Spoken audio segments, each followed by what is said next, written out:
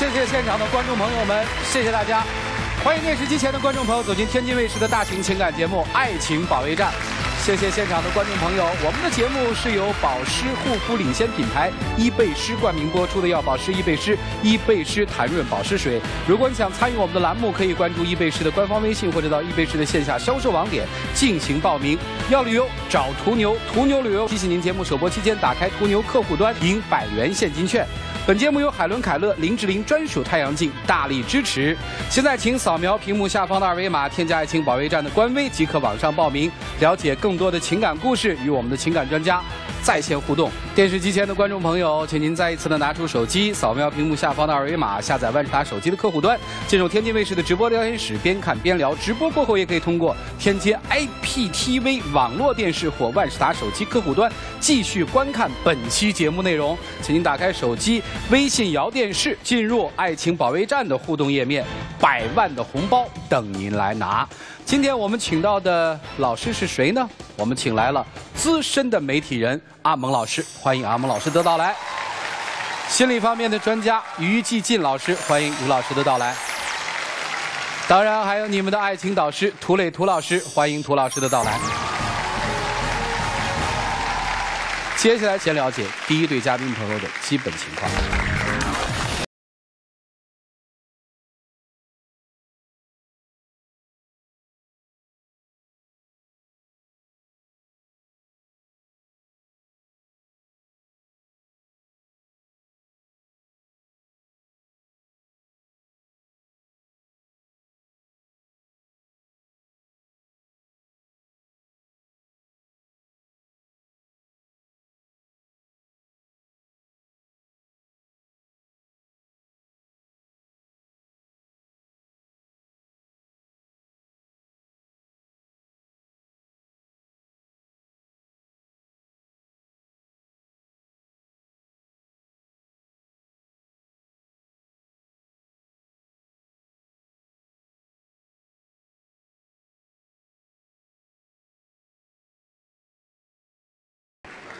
要不然离开你妈，要不然让我离开你，哪儿来的这么大的仇恨呢？掌声请出这一对，掌声有请。男嘉宾小刘，二十三岁，来自长春，自由职业；女嘉宾小陈，二十九岁，同样来自长春，酒吧老板。来，有请，有请两位，有请。主持人好，好好好，欢迎两位啊！看这个小片儿基本上说的是他跟你母亲之间的矛盾和冲突，是吧？是的。啊，说说你母亲对他的看法，为什么那么大的冲突？呃，我们两个人认识三年多了，嗯。啊、在这三年里呢，几乎就是没有什么矛盾可言，嗯。然后呢，呃，在一年之内，就是半年之前吧，嗯。见过他的母亲，嗯。然后呢，他的母亲，第一呢，因为是我比他年纪大，然后呢，持有反对意见，嗯。然后最后也因为是我是酒吧老板，嗯，他妈侮辱我的朋友圈，说我的朋友都是不三不四的朋友，哦。我妈什么时候说你不三不四？说你的朋友你妈说不三不四？了我的朋友是？不三不四的朋友，因为我家酒吧。你闭嘴，我还没说完呢。啊，呃，除了我的朋友圈以外呢，然后他妈说我利用我的金钱，利用我的优越条件，嗯。牵制着他儿子跟我在一起。那是我妈说。的，那是我妈说的。再说我也跟我妈解释了，我说咱们两个之间，呃，处对象跟金钱一点关系没有。你说你总是扰扰扰着这个事情不放，对，但是也确实啊，咱们两个在一起的时候也都是我花在我在花钱呢。你花过钱吗？那我最后不还上班了吗？你上班了吗？你那是什么工作？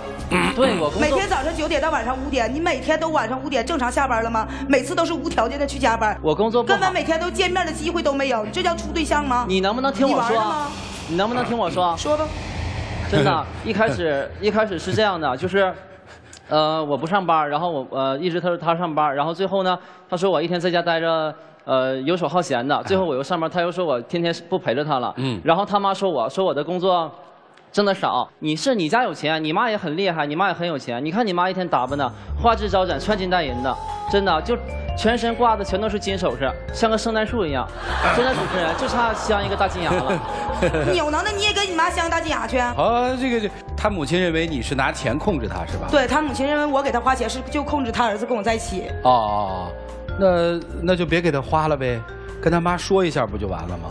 这他妈根本就跟我就不沟通，没没有办法去沟通。哦，没办法。而且就是每次过节的时候，嗯我去他家，然后呢给他妈买一些礼品之类的，嗯然后他妈每次都是呃把礼品接过去了，然后带搭不洗理的把礼品放在桌子上之后，往凳子上一坐，根本连一个面目表情都没有，就是僵硬的坐在一个桌子。你听我先说完，我现在我说话呢，你别插嘴。主持人，你看他经我现在常是这样。说话呢。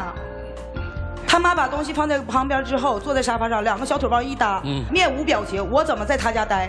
而且就是一句最难听的话，我去他家有几次了，他妈绝口没说，呃，你在我家吃口饭呢什么的，他妈连这句话都没有，我连他家饭碗都没见着过。再说了，你去我家，你说我妈没有给你呃做饭，没有给你这个，没有没有给你倒水喝，那我已经跟你解释了很多次了。我妈是担心你在我家吃不习惯吗？有什么可吃不习惯的？我妈不会做饭吗？我妈在家做的饭我都能吃，你妈做饭我为什么不能吃？最后我不还是领你出去吃的吗？也是我出去吃跟在。家家里吃的氛围是一样的吗？气氛是一样的吗？没别的了吧？还有吗？还有，那您接着说还有一次是他。妈住院，哦然后呢，他给我打电话说他妈生病了，嗯。然后呢，我在医院找人，然后呢去安排病房，去安排住院，而且花销，嗯。然后呢，刚开始的时候他妈在住院的时候对我还有一点笑脸，等他母亲，呃，离开了医院，出院了之后。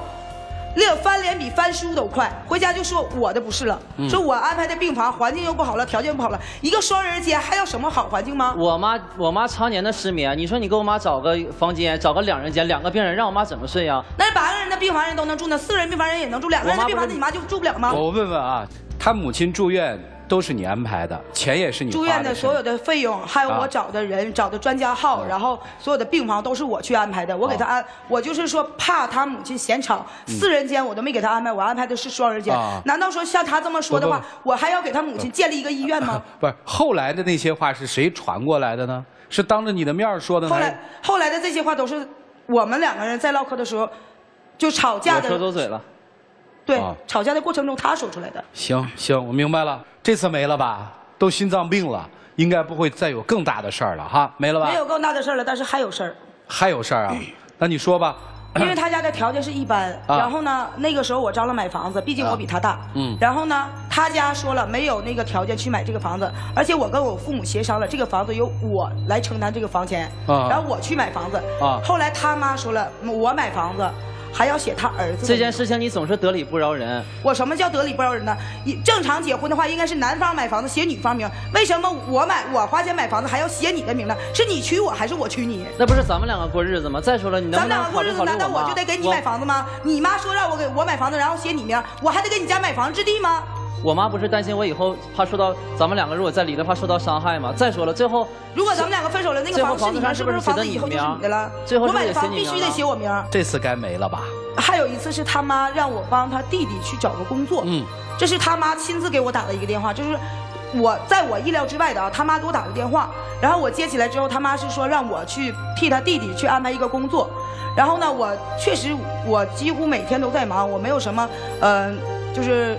合适他弟弟的工作去给他，然后我就把他弟弟安排在我这儿，安排在我的酒吧里上班。毕竟就是说，呃，属于是自己的家里人，在我这儿上班呢，我会照顾他一些多一点儿。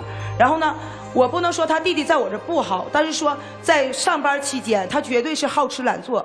那不是我的弟弟吗？我弟弟才二不到二十岁，那去你不酒吧就是一不到二十岁，种历练呢他是。小孩吗？然后经常挑我弟弟，说我弟弟在他家呃呃带着一帮朋友去我。们家玩，然后呢跟我说：“姐，我这帮朋友的那个呃钱你别要了，我一而再再而三的去给他签单免单，他不是说一个单两个单的事儿。呃，还有一件事儿，然后在酒吧他也是跟我呃，因为这件事情吵了半个多月。有一次酒吧打架人家，酒吧打仗，嗯然后呢，呃，他弟弟拽着他直接就跑了。我就在想，你身为我的男朋友，你把你的女朋友，身为你你的女朋友扔在那个现场，你感觉合适吗？陈宇，你五大三粗膀大胸腰的，打架你你还能打不过他们吗？我可能跟人家去干仗吗？我跟你讲啊，这是怎么回事？那天呢，酒吧确实打起来换着了。在座的所有每一个男人，可能把自己的女朋友扔在一个打仗的现场吗？你问问在座的所有人，那天只是有两个理吗那天只是两个女的打架，我一想也没两个女的有什么事儿打仗怎么的？。两个女的打打起来，有可能比两个男的你能不能让我说完？你能不能你说吧让我说？嗯。然后呢，当天呢，只是两桌女的打架，我一想呢，也不能不可能打成什么样。然后我弟弟呢，也是怕我脾气不好，怕我再上去跟他们打起来，所以把我拉到门口了。然后我这，我不是一直也在后面守着你吗？你说就因为这件事情，你半个是在楼多月没跟我下守着了吧？如果他们两个真的打到一起的时候，如果真的不有意外碰着我的时候，那就不是你在楼下守着我了，是幺二零在楼下守着我了吧？陈宇，你摸良心行了，说话你别吱声，了你这体格，你能不能打过他们？打不过。你现在还花他的钱吗？实话实说，我花点你钱怎么了？其实吧，花点钱无所谓，但是我为什么要花钱不讨好呢？费力不讨好呢？你当初喜欢这个小子什么呀？啊，因为第一当初吧，嗯、他挺文静的，嗯而且呢，嗯、就是在我俩认识的期间呢，他是跟朋友去酒吧喝酒，嗯然后因为当时呢，他的朋友有一个过生日的，因为我身为酒吧老板，然后呢，他们还是新客人，我就送了一些果盘儿、干果或者蛋糕之类的呃吃的，然后呢，去跟他们喝了两杯酒，然后呢，后来互相留了一个电话号码，留了一个微信，然后呢，就是慢慢的呢，他呃有的时候会发个微信说啊你吃饭了吗？就是那种嘘寒问暖的那种感觉，就说是呃在我们就是在女人看来说，哎这个男人不错，哦，就这么喜欢他了？你觉得他会对你好，对吧？。对，他对你照顾的好吗？确实挺好，确实挺好，你承认是吧？承认。你打心里你瞧得起他吗？如果说我真看不起他的家庭，他的家庭条件一般，我看不起他的家庭的时候，我完全可以离开他。啊，我下面有件事儿其实挺担心的，因为在小片里你说，要不然就让要么你离开你妈，要不然你让我离开你，啊，这是今天这是我最终的观点。啊，我妈养我那么多年了，我怎么离开她？你就不能跟我妈好好的吗？但是跟你走到就不能跟走到最我妈针后的是我，锋相对吗不？是你妈。好吧，我下面最担心的一件事儿是，好像还要跟你母亲有个连线。是的，呃，你不会跟人吵起来吧，姑娘？不能。那我们就试着接一接小伙子母亲的电话吧。来，喂，你好，哎，我们这儿是爱情保卫战，您的儿子小刘和他的女朋友小陈在我们的现场。呃，我有几个问题想问问您，您看方便吗？嗯，方便，请说。啊，您喜欢您儿子的女朋友吗？如果说那个心里话吧，心里不太舒服，呃，是为什么呢？就是因为他年龄比他大几岁，是吧？这是第一个。第二个，他是酒吧的老板，酒吧的人都不好了。呃我我当然说是总有闹事的，我心里不太放心。哦，这个小陈当着您的面儿跟您发过火吗？反正就是不是说什么发火，就是说是声音大了一点吧，说话。他对您会非常强势吗？比如说拿话冲您什么的？对啊，我们俩都是强势女人呢。哦，他经常跟我妈喊，就跟喊我一样。我什么时候跟你妈喊了？现在你怎么电话已就没给我妈经接通你先把嘴闭上。你怎么没有电话已经接通了？现在阿姨已经听着呢。啊，好好好，哎，如果您儿子一定要娶她的话，您同意吗？哎呀，如果违心的说就得说同意，从内心的时候就有点不太舒服。行，我再往下问，他们结婚之后，呃，是住在一起还是不住在一起啊？我不跟他们住一起，各过各的是吧？这都买房子还跟我住一起干嘛呀？哦哦哦，以后您还管您儿子吗？管呢，必须管。我的儿子我能不管吗？他结婚以后你也管啊？结婚以后，他要是，嗯，怎么说呢？有的时候吧，就必要的时候得管一管。啊，比如说什么事儿呢？呃，他们家我我可以不管，你儿子工作啦，外面用的啦，这都应该媳妇管。你是娶媳妇呢，是娶保姆呢？你怎么跟我妈说话呢？哎我跟你妈说话怎么的？你吃的、住的、用的都得我管，吃喝拉撒都得我管，你是我生的呀。小陈啊，你你听我说一句，你说你俩结婚了，你不管谁管呢？但是我俩现在是没结婚呢，而且我听说听你儿子说的啊，呃，现在你每个月管你儿子要两千块钱的赡养费，但是现在你儿子没有工作，已经半年了，这两千块钱可都是我给你拿的。我父母年龄那么大了，，我养我儿子小，他要养，他要赡养我老。你儿子一个月还没挣到两千块钱呢。我来打断一下啊，呃，如果他们分开了，呃，这个钱要还给这姑娘吗？这个钱不应该给他呀，他给我，他给我的赡养费啊，他接受，当时他接受我的儿子了。行，那我明白了，谢谢您啊，再见。所以这个中国的老话都说的特别好，吃人的拿人的，你们看怎么办吧，老师们，一起进入丘比特问卷。阿木老师，我第一次遇到这个问题，不知道该如何去说，因为我觉得你们两个人真的不太合适。那小伙子，你认为你妈妈在对待他的问题上过分吗？他再说他也是我的妈呀，他也不能是，也就是说你的这句话呢，其实你认为你母亲很多地方做的不是特别认可，但她毕竟是你母亲，你不能背叛她，是吧？我相信这位小伙子，其实你知道你女朋友过得很不容易，你也知道你亏欠她很多，但是呢，由于你自身的自尊，亦或是你维护你母亲的形象，所以你违心的在和她进行争论，所以你的底气不足，因为你其实内心中站的是站在她这个角度上的，只不过由于那边是母亲，小伙子，我个人观察你有很强烈的恋母情节，这个恋母情节体现在对于母亲的依赖。而且你的思维意识跟你的母亲非常靠近。我再冒昧问一个问题：你父亲跟你母亲关系怎么样？他们是重组家庭，就是小的时候，是不是你的你的父亲，你跟你亲生的父亲接触的很少？那这就是一个问题，就是在家庭里，作为一个父亲的角色的缺失，对于男孩子的这个男性还有父亲父亲形象的这个关照，在他内心当中实际上是失衡的。但是你为什么找他呢？你不觉得他像你一个新的妈妈吗？男性在最早接触异性的时候就是母亲，所以每个人都有恋母情节，你不用抵触这个问题。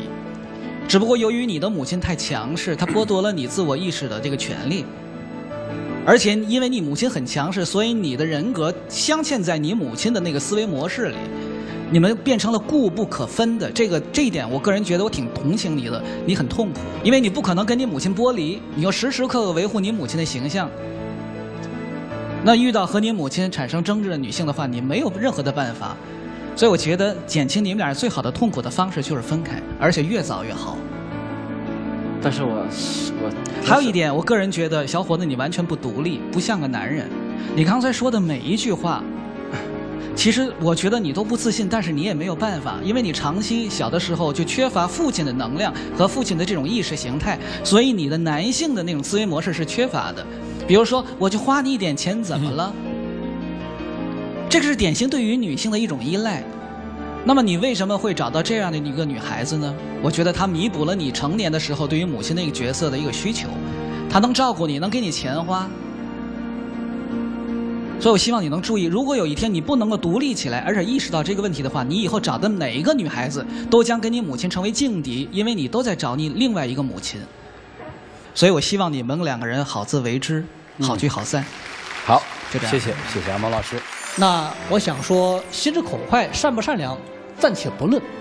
那么今天我在现场听到的是，母亲在电话的另外一端说话是比较中肯的，但是我听到今天你的这个气场，其实是很冲的。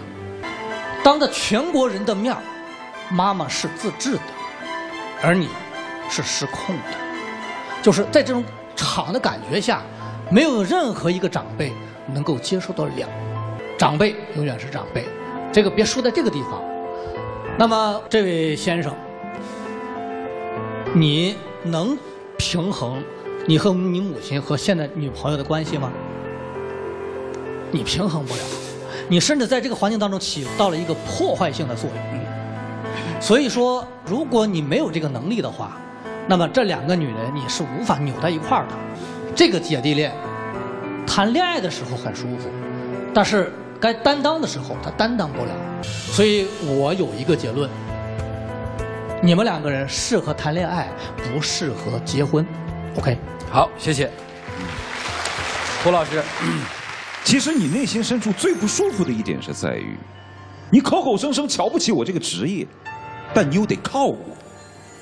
我做了好人，结果还不料好。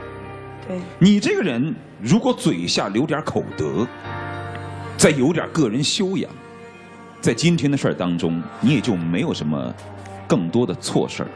你自力更生，自己养自己，心直口快。虽然话没唠好，干该干活都干，钱给了，医院安排了，但到了最后你没唠好。我相信阿蒙老师说的那些所谓原生态家庭的影响，确确实实是构成事情的主要因素。但我从来没在这个舞台上听见一个男人说出这么没骨气的话。那我花你一点钱怎么了？我不建议说夫妻之间一定要男的挣得多，女的挣得少，大家有多少能力就为家庭贡献多少，男女平等。但是我真的从来没有听过一个男人这么没骨气的话，而且他妈的话也让我非常的惊奇。赵川老师最后那个问题问的好啊，那那些钱还还给女方吗？那我不还。这言下之意让我感觉好像是说，你看我我的儿子这么年轻就陪了他三年，而且你还是干那种职业的，会把我儿子带坏的，难道我落点实惠还不应该吗？所以其实有的时候去想想，确实如此。既然你这么看不上这个职业，你还干嘛要让自己的儿子落他手上呢？你干嘛还要收赡养费呢？你干嘛还要别人去安排病房，要人家去安排自己？还有那个小儿子的工作呢？又看不上人家，又让人家做这个做那个，自己没有一点贡献，还口口声声花你那点钱干什么？你是个男的，你怎么说得出口？所以我没什么别的话好说的了，就这样。什么样的女人照出来就是，对面就是一个什么样的男人。就你变成这样，跟他有很大的关系，因为你没有跟一个男人在恋爱了，你是跟一个男孩在恋爱。现在知道累了哈。我如果是你，我至少先活个人样。我觉得你现在真的不适合谈恋爱。一起进入黄金六十秒。其实吧，陈宇，这三年呢，对于你来说，有挺多事情，呃，怎么说呢？有挺多事情对不住你的。我也知道你是爱我的，我以后我会学着慢慢的改正我自己，然后作为一个男人，我自己挣钱养我自己。我也希望你给我一个机会，可以吗？嗯，你每次都说处理问题，但是每次的问题你都没处理好，所以我要考虑考虑。哎呀，行了，两位请回吧。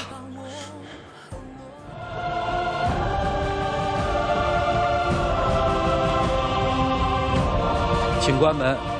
电视机前的观众朋友，下载使用天天圈，提出情感问题就会得到导师们的在线解答，并且有机会在爱宝节目中得到涂磊一对一的指导。使用微信摇电视参与互动，点击左上角的宝箱抽取现金卡。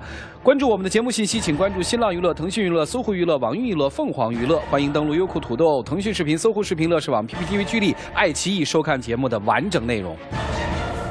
接下来看看他们自己的选择是什么吧。请开门。啊。